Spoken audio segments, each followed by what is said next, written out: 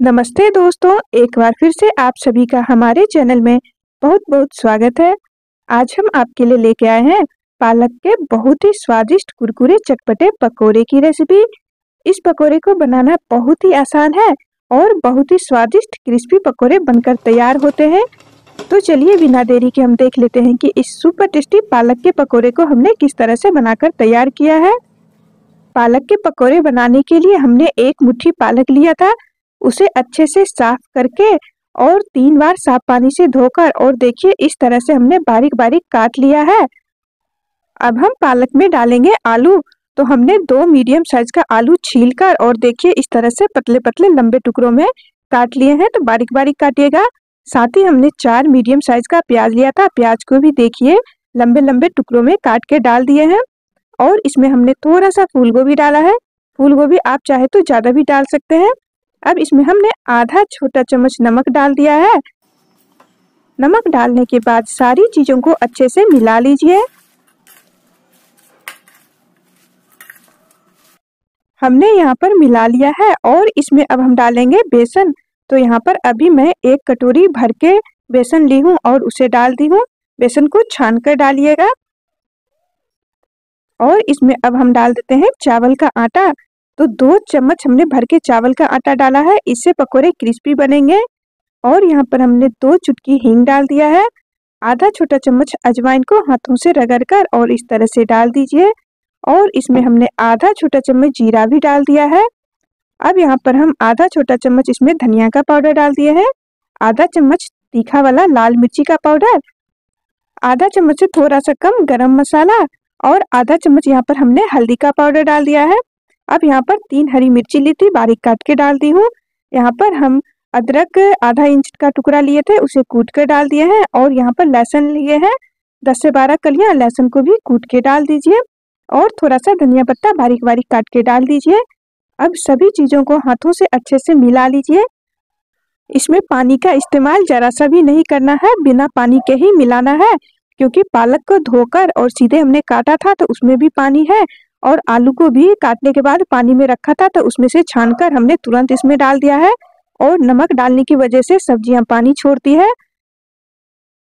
तो देखिए, बिना पानी के ही ये अच्छे से मिक्स हो गया है, पर इसमें बेसन की मात्रा कम लग रही है तो मैं यहाँ पर आधा कटोरी बेसन और इसमें डाल रही हूँ। तो आप सभी चीज़ों को मिलाने के बाद चेक कर लें, बेसन अगर आपको कम लग रहा है तो और डाल सकते हैं। अब फिर से इसे अच्छे से मिला लेते हैं।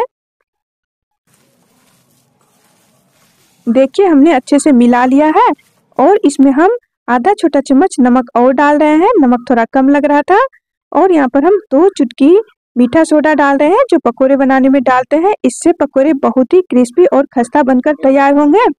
और यहाँ पर मैं दो चम्मच गरम तेल डाल दी हूँ। तो जिस तेल में हम फ्राई करेंगे, वही तेल को हम इसमें डालकर और सारी चीज़ों को अच्छे से मिला लिए हैं। तेल हमने अच्छे से गरम कर लिया है।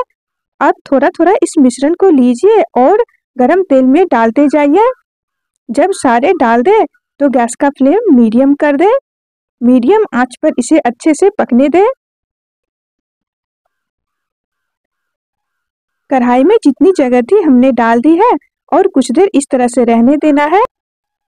जब लगे कि पकोड़े नीचे की तरफ़ से सीख चुके हैं और ऊपर की तरफ़ से देखेंगे तो ड्राई सा लगेगा, तब आपको इसे आराम आराम से चलाना है। और इसे अलट पलट करते हुए मीडियम आँच पर जब तक ये पूरी तरह से पक ना जाए और क्रिस्पी ना हो जाए, तब तक आपको इसे तलना है। तो लगभग पाँच से छः मिनट पकोड़े को तलने में आपको लग सकते हैं। तो इसे मैं कुछ देर और पकने देती हूँ। कुछ देर बाद जब पकौड़े इस तरह से हो जाए और जब इसे चलाए तो आपको ये बहुत ही क्रिस्पी सा लगे तो आपको इसे निकाल लेना है। ऐसे आप एक निकाल कर देख सकते हैं, तोड़कर ये अंदर तक अच्छे से पक गए हैं तो आप निकाल लीजिएगा। तो ये पकोड़े बहुत ही अच्छे से अंदर तक सीख चुके हैं। अब सभी पकोड़े को फटाफट तेल से छान लीजिए। अगर इससे ज़्यादा पका देंगे तो वो खाने में करवे लगेंगे। तो कढ़ाई के साइड में करते हुए थोड़ी देर रखिए पकोड़े को, ताकि जो भी एक्स्ट्रा तेल है उसमें छन जाए। तो आप पकोड़े की आवाज़ सुन सकते हैं। कितना क्रिस्पी बनकर तैयार हुआ है। तो इस तरह से आप भी एक बार पालक के पकौड़े को ज़रूर ट्राई कीजिएगा। उम्मीद करती हूँ आपको आज की हमारी ये पकौड़े की रेसिपी पसंद आई होगी। यदि हमारी रेसिपी और वीडियो अच्छी लगी तो प्लीज़ एक लाइक कर दें। वीडियो में यहाँ तक बने रहने के लिए आप सभी का बहुत बहुत धन्यवाद।